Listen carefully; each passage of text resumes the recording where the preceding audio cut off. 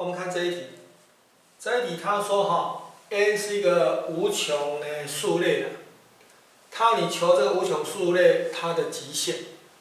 我现在把 n 求出来，我把它除过去，我，a_n 哈，它小于等于多少？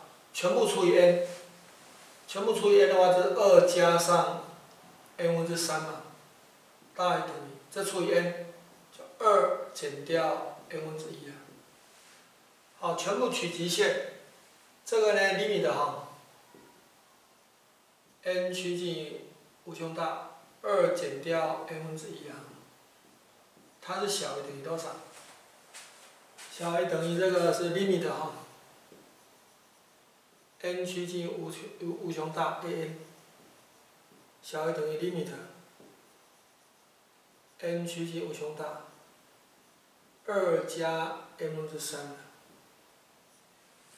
好，当 n 趋无穷大的话，这趋近于零，所以这是二。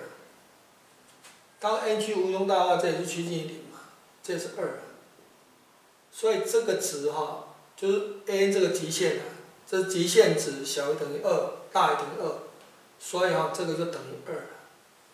好，根据假起定理，所以答案是二。